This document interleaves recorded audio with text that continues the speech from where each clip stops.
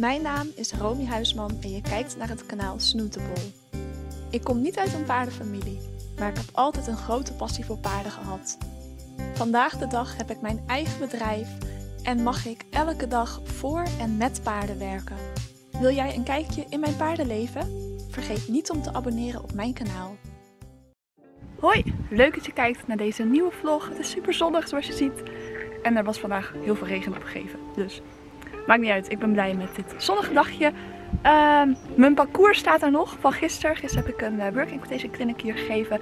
10 deelnemers over de vloer gehad, super leuk. Ik zal eventjes wat eh, beelden tonen voor de geïnteresseerden. Ehm, ik heb zelf ook nog eventjes gereden, maar dat was gewoon even tussendoor in de pauze met pad. Vandaag, ik heb het parcours laten staan, want vandaag een momentje voor mezelf ga ik echt even serieus trainen met Illustro. En ik heb niemand gevraagd om te helpen met filmen of fotograferen, want ik dacht het wordt toch heel erg regenachtig. Ik ga lekker gewoon alleen trainen. Nu blijkt het super zonnig te zijn. Maakt niet uit, ik zet gewoon lekker de camera op de bakrand en dan eh, ga ik wat oefenen. En ik heb wat in mijn auto. Ik heb dit net uh, uit de berm gehaald. Je vindt heel vaak aan de voet van de bomen scheuten. En dit is van de witte abeel, a.k.a. zilverpopulier. En uh, dat is een, echt een prachtige boom. Familie van de wilg. En ik ga kijken of ik die kan stekken. Ik heb potjes. Ik moet de grond in. Dan moet ik ze even op, het juiste, op de juiste manier, op de juiste plek uh, kort maken.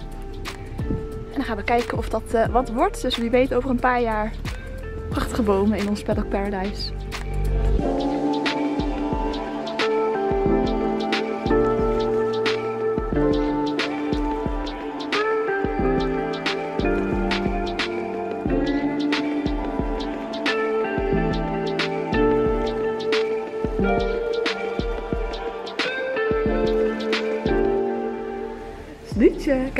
Voor jou heb. Oh, yummy, yummy, yummy. Ja, yummy, yummy.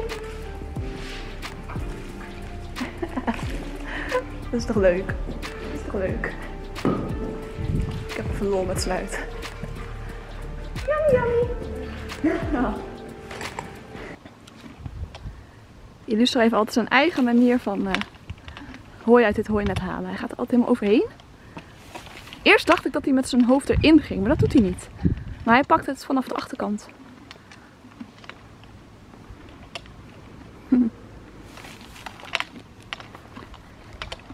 Hé jongen, zullen we even gaan sporten? In in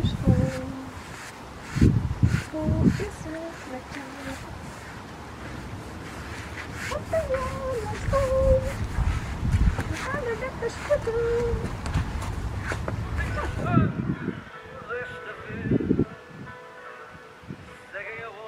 Dit is uh, het parcours. Ik vind het zo leuk dat ik dit nu gewoon een soort van aan huis heb. Ook al woon ik hier niet echt, maar jullie snappen wat ik bedoel. Gewoon, weet je wel, gewoon lekker zo privé. Ik kan het lekker laten staan. Ik hoef het niet op te ruimen, omdat we met 60 andere pensioenklanten de bak moeten delen. Dat is zo fijn. Um, nou, Strootje, nu gaan wij vandaag even lekker rustig oefenen. Want nu heb ik alle tijd. Uh, bijna het hele parcours staat er nog. Ik heb een paar dingen weggehaald vanwege de harde wind en regen. Want het heeft vannacht best wel flink geregend. Um, maar het is nog steeds heel goed bruikbaar. Ik zal even een klein uh, rondje doen. Ik zal even de muziek afzetten. Want ik uh, vind het fijn om te trainen met, met wat geluid soms. Dat vind ik echt heel fijn. Dan kom ik lekker in een soort van flow. Misschien ook een leuke tip voor jullie. Heel vaak zet ik via Spotify een playlist op met Portugese fado.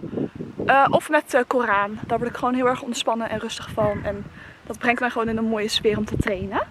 Heb je er zin in, Boef? Heb je er zin in? Dit is mijn brug. Voor de vorm had ik hem eigenlijk even moeten vegen nu. Maar dit is nog allemaal van gisteren. Er liggen zelfs nog verregende snoepjes op. Hartjes, kijk dan. Nou, jullie kunnen wel raden wat wij hier gisteren hebben uitgespookt met dat snoep. Um, dit zijn de sloten.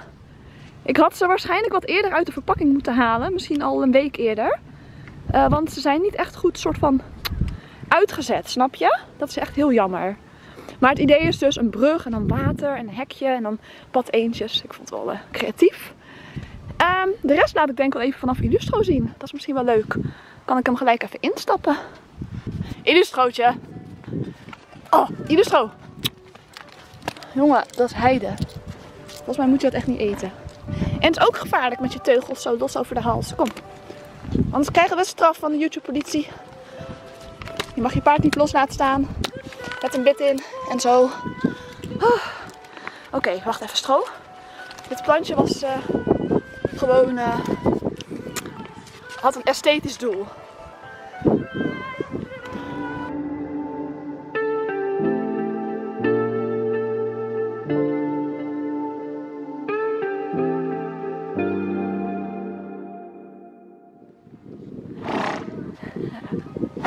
Ja, jongen toch. Wat heb je dan?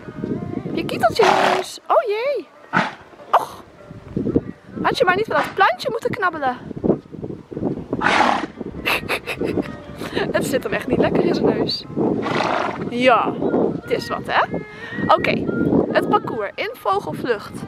Optillen van de kan. Onbewegelijk stilstaan vanuit galop. Halt. Kan omhoog.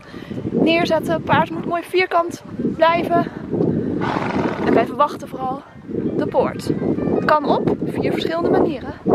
De brug. Oeh, we gaan op de brug af. Leuk. Netjes in stap. Ontspannen, tact. Geen drafpasjes tussendoor. De slalom. Ik heb hier een parallel slalom. Ik heb nu vijf pionnen gebruikt. Maar dat is eigenlijk uh, natuurlijk... Uh, we gaan een pirouette maken. Wauw. Dat is eigenlijk zeven. Maar daar heb ik ruimte voor in de baan. De garrocha. Een sprongetje. Niet zo hoog, wel lekker smal. Dat maakt het wel uitdagend. Slalom om de 2 tonnen, dus een achtje met een galopwissel. En die kan op het hoge niveau ook achterwaarts worden gevraagd. Dus dat moet ik misschien ook maar eens gaan oefenen. En daar ligt een L voor de L achterwaarts.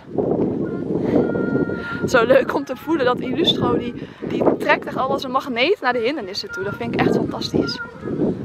Zo mooi publiek. Allerbeste publiek wat je maar kan wensen, namelijk paarden. als je het goed doet in de ogen van een paard, denk ik dat dat het beste compliment is. Hi Inky. Hi jongen. Je hebt gisteren ook goed je best gedaan hè, met de les. Knap hoor. Ja. Oh jongens, het is zo genieten.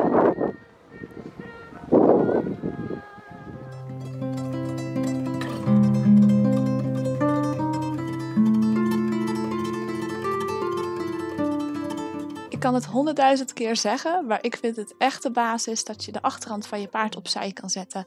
Zowel in het grondwerk als onder het zadel, uitgaand van natuurlijk een gezond paard. En los van alle fysieke voordelen van deze oefening, is het natuurlijk ook een stukje gehoorzaamheid, het aan de hulp stellen van je paard. En als je dan bijvoorbeeld verder wilt gaan in work equitation en je moet oefeningen doen zoals uh, het uh, openen van een poort, dan heb je ook echt dat soort vaardigheden nodig, zoals achterwaarts, een wending om de voorhand, een wending om de achterhand. Uh, want als je dat eigenlijk al niet kan op het droge, dan uh, maakt het jezelf ook heel erg moeilijk en je paard vooral, om dat tijdens een oefening dan van een paard te verwachten. Dus iedereen die bij mij komt lessen, die uh, weet dat ik daar vaak op hamer.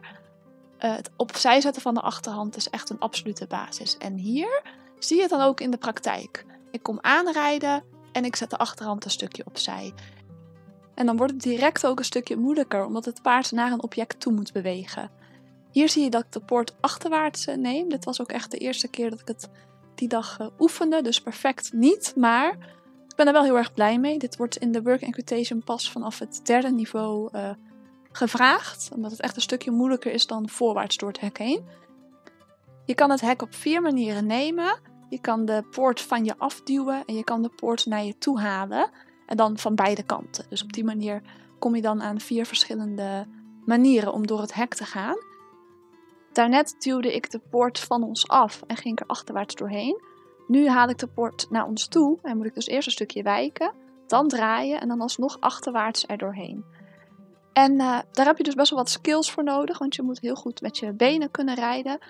Uh, het paard moet kunnen omgaan met gewichtsverplaatsingen. Het paard moet achterwaarts uh, durven door een smalle ruimte of ja, richting een object. En uh, nou, dit heb ik nog niet zo vaak geoefend, dus er was nog wat spanning te zien in de oefening. Maar het is me wel gelukt uh, zonder de poort ook los te laten. Dus daar ben ik op zich wel positief over. En ja, verder moet ik gewoon heel veel ervaring gaan opdoen hierin. Nu kom ik van de andere kant. En uh, dit is eigenlijk de makkelijkste kant, wat je het meeste in wedstrijden tegenkomt. En ik ga er ook voorwaarts doorheen. En jullie zien ook dat het nu veel vloeiender gaat en dat we ja, hier al veel meer ervaren in zijn. En dat de moeilijkheidsgraad ook gewoon minder hoog is. Natuurlijk even een snoepje voor Illustro om echt te waarderen dat hij stil blijft staan. Want dit was echt een moeilijk puntje voor ons. En ieder paard is natuurlijk anders. Sommige paarden staan heel makkelijk stil en zijn moeilijk in beweging te krijgen. En uh, bij Illustro was het stilstaan aan zich al best wel een dingetje. Hier zien jullie de vierde manier van door het hek gaan. Ik haal het hek naar mij toe en ik ga er voorwaarts doorheen. Ik heb alle vier de manieren nu in vogelvlucht gedemonstreerd. Ik hoop dat jullie er inspiratie uit kunnen halen. Vergeet zeker niet dat je oefeningen altijd in hele kleine stukjes kan hakken. En mocht het nog iets te moeilijk zijn, of mocht er te veel spanning ontstaan of verwarring tussen ruiter en paard, ga dan altijd gewoon een stapje terug. Zorg eerst dat je de kleine stapjes bevestigt en vervolgens kan je het hopelijk allemaal achter elkaar plakken en gaat het allemaal lekker vloeiend. Nou, dit is echt een uitdagende oefening voor ons. Ik zeg wel eens in de clinics van nou, het lijkt een Bixie oefening, maar onderschat het maar niet. En ik heb soms paarden bij mij in de clinics, die doen het zo goed en zo stabiel. Maar voor mij in Illustro is dit echt wel een dingetje. Ehm, ja, je zit dan in de, in de wedstrijd een beetje hoog in je adrenaline, want je bent lekker aan het galopperen en allerlei oefeningen aan doen. En dan moet je bij deze oefening onbewegelijk stilstaan. En dan moet je het object, dus vaak is het een kannetje, met soms zit er water in of wat dan ook. Uh, die moet je dan optillen en die moet je dan boven je schouder liften en dan weer neerzetten. En dat lijkt dan heel erg makkelijk, uh, een soort Bixie oefening. Maar het is best wel lastig, vind ik, omdat hier ook heb je weer te maken met die gewichtsverplaatsing. Dus als ik een beetje naar rechts wil leunen en wil bukken om dat ding te pakken, dan uh, verliest Illustro een beetje zijn balans. Of hij verwart het met een signaaltje uh, van, oh, ik moet weer voorwaarts of ik moet weer gaan bewegen of zijwaarts. Dus dat doet echt wat met hem. Nou, dit kan je natuurlijk ook weer heel makkelijk voorbereiden zonder dat je echt het object erbij neemt. Dus je kan heel goed oefenen met je overgangen naar halt. Uh, en dan vooral goed gesloten halt houden, waarbij het paard netjes met zijn gewicht over vier benen verdeeld staat. En dan kan je ook oefenen met die gewichtsverplaatsingen in het zadel. En dan checken of je paard stabiel blijft staan en zo niet. Ja, dat dan eigenlijk gaan aanleren. Uh, dat is iets waar ik met Illustro echt mee aan de slag moet. Jullie zien mij al een tijdje klooien en het is nog steeds niet goed gelukt. En het is ook interessant, hè? want ik leid Illustro op op een manier dat ik eigenlijk graag wil dat hij onder mijn zwaartepunt blijft. Dus dat hij ook reageert op gewichtsverplaatsingen en op de kleinste gewichtsverplaatsingen. Maar in dit geval wil, wil ik dan eigenlijk dat hij de gewichtsverplaatsing negeert. En dat is eigenlijk een andere manier van opleiden. En die lopen in de working equitation een klein beetje door elkaar bij de oefeningen zoals de poort en het optillen van de kan. En uh, ja, super interessant om daarmee te puzzelen ook. De oorlogspaarden die werden opgeleid voor het vechten met het zwaard, waren ook anders opgeleid dan de paarden die uh, werden gebruikt met pijlenboog of uh, met, een, met een geweer of zo. Want bij het zwaardvechten, dan wil je graag dat het paard naar het zwaartepunt toe blijft bewegen. Als jij dan zo met je tegenstander aan de gang bent, dan moet het paard niet de andere kant op gaan wijken. Maar als jij bezig bent met een geweer of een pijl en boog en jouw paard galoppeert rechtuit en jij moet draaien en richten en schieten, dan wil je eigenlijk juist dat je paard nog steeds netjes rechtuit blijft lopen en niet uh, ja, te veel gaat reageren op jouw gewichtsverplaatsing. Dus uh, beide kan. Uh, en dat heeft de geschiedenis natuurlijk al heel vaak laten blijken. Maar het is wel interessant om daarmee te puzzelen. En hoe kan ik dat beide integreren in mijn working equitation training, zonder dat het verwarrend wordt voor Illustro en zonder dat ik grote hulpen moet gaan gebruiken. Wil jij ook aan de slag met deze superleuke discipline?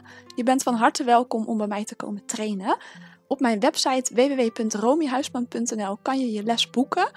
Op de eerstvolgende datum, 9 januari, is nog plek. En binnenkort zal ik natuurlijk ook de andere datums uh, toevoegen voor 2022. Dus jullie zijn van harte welkom en met alle plezier maak ik jullie wegwijs in de Working Equitation sport.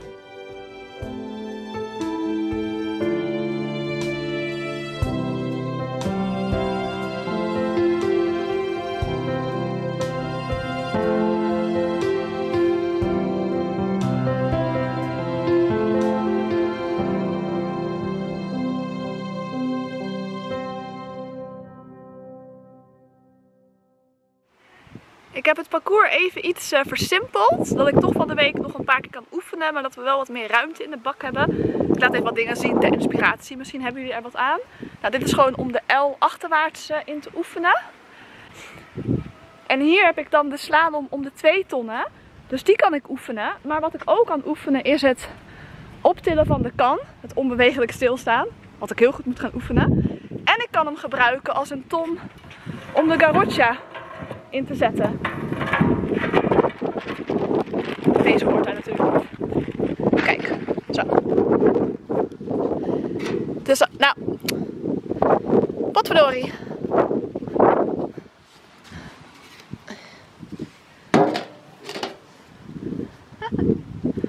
Dat moet ik nog even gaan eh, opruimen. De poort laat ik even staan. Dan kan ik nog wat in gaan verfijnen. En de brug laat ik even liggen. En dan heb ik de stier heb ik even naast de brug gezet.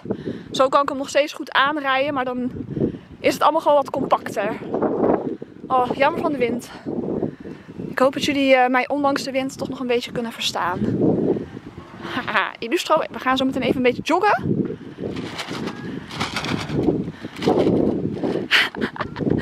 De Bimmy gaat met de staart omhoog, rent weg. Kijk dan. Het was niet voor jou bedoeld hoor, de Bimmy. Wat gaat ze nou weer doen? Het was voor jou bedoeld. Ik wilde jou laten rennen. Haha. Maar ik ga eerst even die spullen van de hoefslag halen daar. Dat is misschien wel verstandig. Wat heeft hij toch met die planten zeg? Nou, het is echt al de, de vierde keer van vandaag. Laat ze los. Ik ga ze weghalen hier.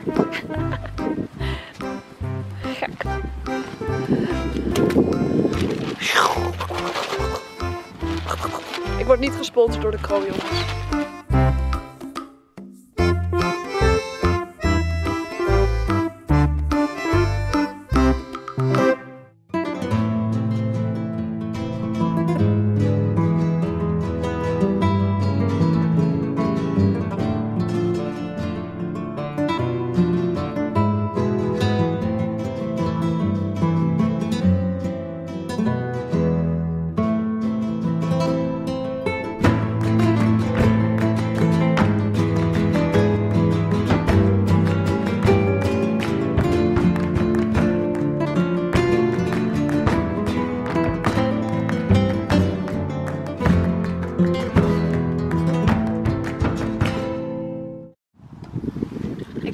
eigenlijk geen grond gehaald voor die uh, bomen.